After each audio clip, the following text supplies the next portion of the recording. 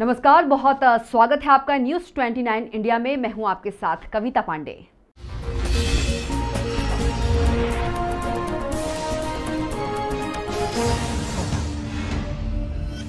गौतमपुरा नगर में तमाम पाबंदियों पर भारी पड़ी आस्था। जन जन की आस्था के पात्र तेजाजी महाराज को 860वां निर्वाण दिवस तेजादशमी पर नगर के साथ अत्याना चंबल में भी स्थित तेजाजी स्थान को परंपरागत रूप से कोरोना संक्रमण और प्रशासन की गाइडलाइन के तहत मनाया गया।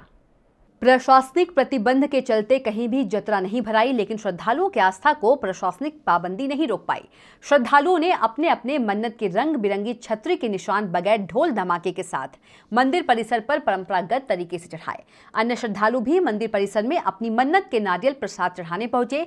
जनास्था को देखते हुए मंदिर समिति ने भी प्रशासनिक गाइडलाइन का पालन करते हुए सभी श्रद्धालुओं को सोशल डिस्टेंस के साथ दर्शन करवाए। इस अवसर पर तेजाजी महाराज को सवा क्विंटल लड्डुओं का भोग लगाया। उधर सुगंध दशमी पर दिगंबर जैन समाज ने भी धूप चढ़ाई।